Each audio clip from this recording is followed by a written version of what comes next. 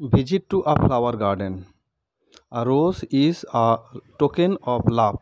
We are often asked to write a paragraph, we are often asked to write a composition or picture description. Whatever is there, we will be learning here today and we will be uh, visiting a beautiful garden today.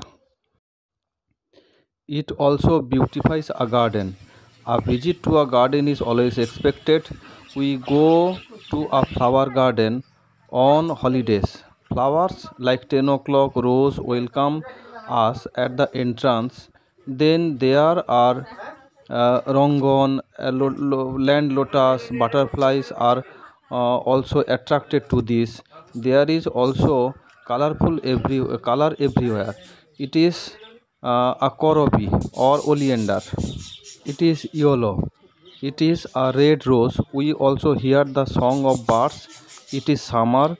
We are fortunate to see white rose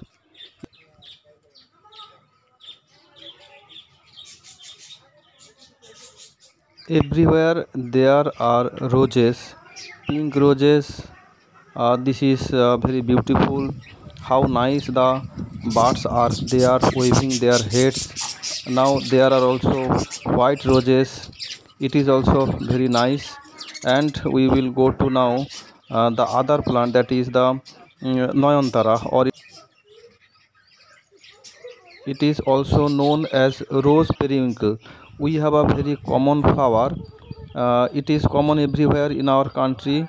Uh, it is uh, a java or hibiscus. This flower is very common. How happy they are! They are always waving their heads. There is uh, a soft breeze, and the birds are waving their heads and dancing in the air. Now we will go to uh, mango bird. That is it is a mango bird. How nice it is. Uh, it is uh, so beautiful that a fly is enchanted to it. It is a good good feast of our eyes that we can find everywhere. There are different flies insects. They are also attracted to it. It is a rose bay or crepe jasmine. We call it togor look at the blossoms of cucumber. It is yellow.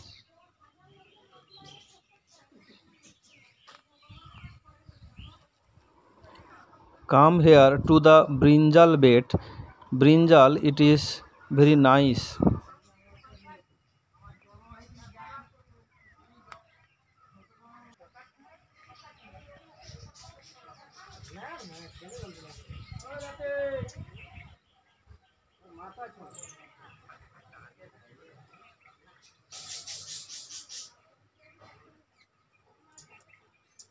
Here we can hear the song of a bird. It is called robin redbreast Now it is a pink এইভাবে না, rose. এই- এই How side থেকে না, beautiful, how graceful it is.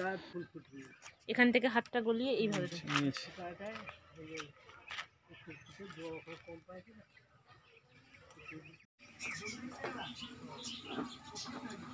Red rose,